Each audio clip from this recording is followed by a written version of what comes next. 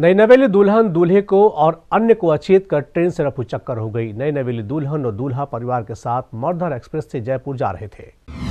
एक ऐसी दुल्हन ट्रेन से हो गई रफू चक्कर। दूल्हे सहित बारातियों को कर गई अचेत।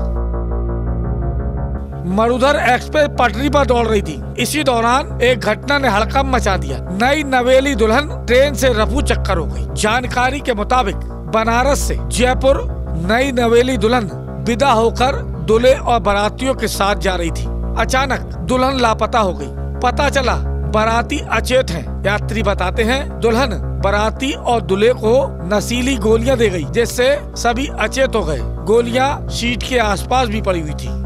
परिवार वालों को खवाई गई थी और जो लड़की उतरी होती है उसको नहीं खवाई। हाँ, जो लड़की उतरी है वो कुछ भी नहीं खाई। हाँ, जो परिवार वाले थे वो सब खाए अचेत हालत में दुल्हे और अन्य बरातियों को नगला रामफल उतारा गया जहाँ पर रेल कर्मचारियों ने अस्पताल पहुँचाया। आ, हमें सुबह सात बजे लगभग मरुधर एक्सप्रेस की एक घटना की जानकारी मिली थी जिसमें आ, परिवार के कुछ लोगों को आ, जैसा कि बताया गया था कि एक महिला ने जहर दे के उनको जहर दे दिया था और वो महिला वहाँ ट्रेन में मौजूद नहीं थी।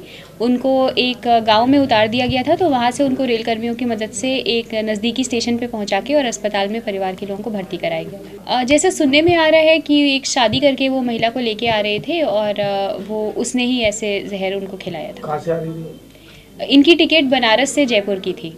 अब सवाल ये उठता, आखिर दुल्हन ने ऐसा क्यों किया? क्या दुल्हन लुटेरी थी या फिर इसके पीछे कोई और वजह थी? दुल्हन शादी करना नहीं चाहती थी। जबरन शादी की गई। क्या दुल्हन अपने प्रेमी के संग चली गई? इसका पता दुल्हन के परिजन और दुल्हन के मिलने के बाद ही चलेगा। इस बात का पता दुल्हन के परिजन बताएँगे या फिर दुल्हन बताएगी? बहरहाल, इस घटना ने रेल महकमे में हड़कम मचा दिया था।